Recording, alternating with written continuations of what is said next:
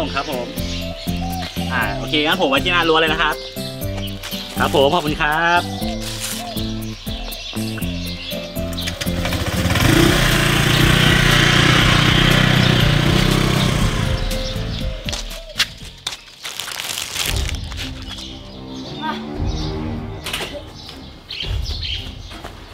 อ้าวพี่จ๋าพะโล้หายไปไหนอะ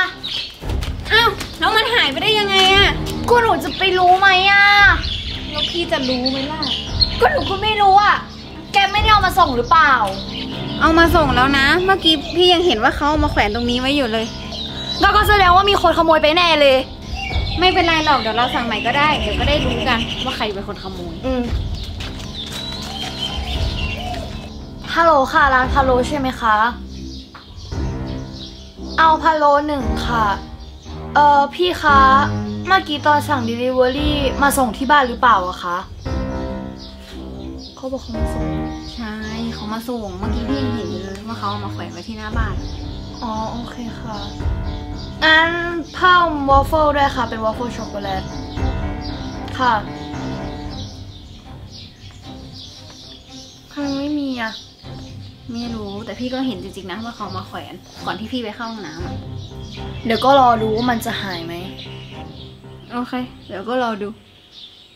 ฮัลโหล สวัสดีครับพะโล้กับวอฟเฟิลมาส่งแล้วครับ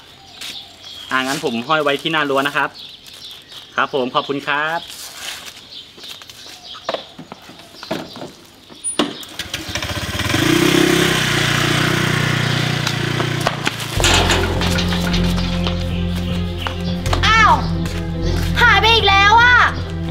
เมื่อกี้พี่เห็นแล้วว่ามีคนวิ่งมาขโมยของของเราไป งั้นเอาแบบนี้ไหม เราไปหาของกินในบ้านแล้วลองเอามาห้อยอีกทีหนึง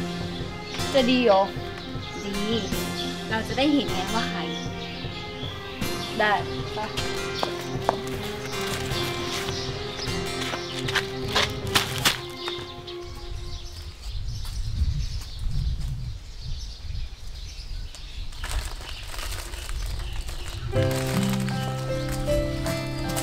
จ๋าอืมเราลองทำรั้วปันสุกไหม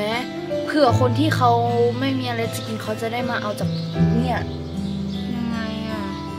ก็เอาของที่แบบพวกของกินเนี่ยพี่สาเราเอามาห้อยไว้ตามรั้วเหรอ อืมใช่ อื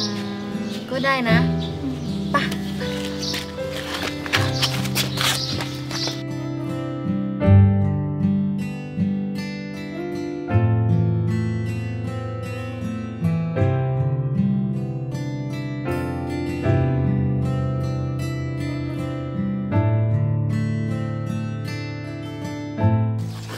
ไปเอาของในบ้านหน่อยไหม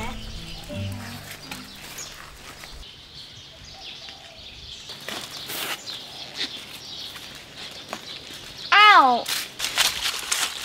พี่อย่าเพิ่งไป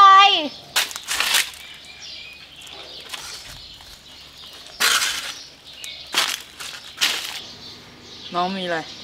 พี่ใช่ไหมที่เป็นคนเอาพาโลหนูไปก็พี่ ฮะไม่เป็นไรหรอกพี่ มาเอาถุงปันสุกไหม หยิบได้เลยนะพี่ พี่หลังอะก็ไม่ต้องไปขโมยของเขาอีก อย่าหยิบเยอะนะ